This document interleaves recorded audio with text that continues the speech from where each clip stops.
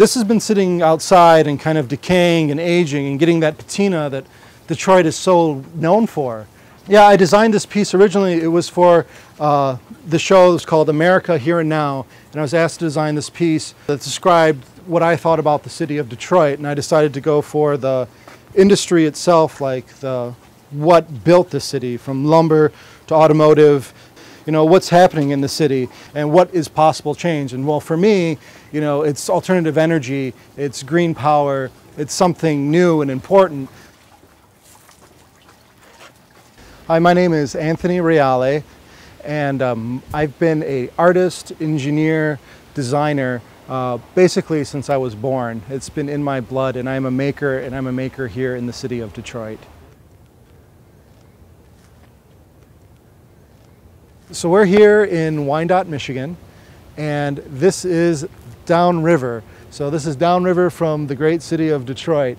Uh, this is where all the steel mills and all the fabrications and everything kind of went from the Detroit industry. And uh, this is the Detroit River. Over here we have a beautiful coal-fired uh, plant that powers the city of Wyandotte. You know, this is, this is the motor right here. It hasn't stopped flowing since we've been here. And it produces about a two mile an hour, 2.5 mile an hour current. And you're like, well, that's not a lot, except that water has 60 times the potential energy that air does. So 60 times two, that's 120 mile an hour. If I said I had 120 mile an hour wind blowing past my city, you'd be like, why aren't you guys on wind power? I designed Strait Power, which is a hydrokinetic turbine. Basically, it's an underwater windmill and it makes electricity. Uh, it's based off of a basking shark, which is a filter feeding shark, and it improves the efficiency of a turbine blade by 40%. I was watching TV and uh, there's something on about the basking shark, which is this filter, filter feeder. It's a giant 22 foot long monster that just kind of swims along and it just eats plankton. And I'm looking at it and I'm watching it swim and it's got its mouth open. And I'm like, this thing, it's, it's like fighting itself but pushing forward with its mouth open. There's got to be something about this. And then I'm like, I can make a, a hydrokinetic turbine out of this thing. And I took this little sketch and then I turned it into an 900 pound model made out of 4,800 uh, individual pieces of wood that were sculpted with a chainsaw and then cut on a mill and glued and doweled together. Uh, built a transmission out of some go-kart parts, uh, put some fans together out of a uh, truck, out of a big diesel truck, uh, the cooling fans, and I made it and took it to U of M.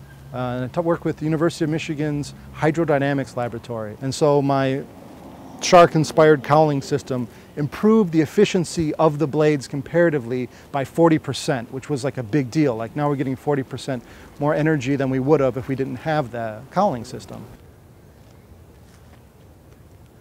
And this isn't something just for Detroit. I mean, the world is full of moving water. It doesn't have to be a river, it can be a tidal system. So putting these small things in like creeks and stuff would be really interesting. Um, but again, you know, maybe we need to, if we're going to do a creek in a low-level bay, maybe we need to step away from this basking shark. Maybe we need to look at the manta ray. Maybe we need to look at the cuttlefish and see how it swims and propels itself to change that.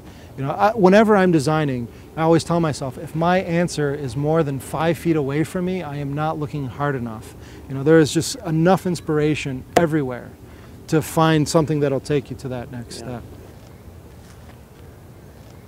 And being that I'm from the downriver area and we're surrounded by these big empty like steel mills and stuff down by our water, uh, there's this the sense of construct that's always there and it's half built and half falling apart and it was once the driving factor and now it's just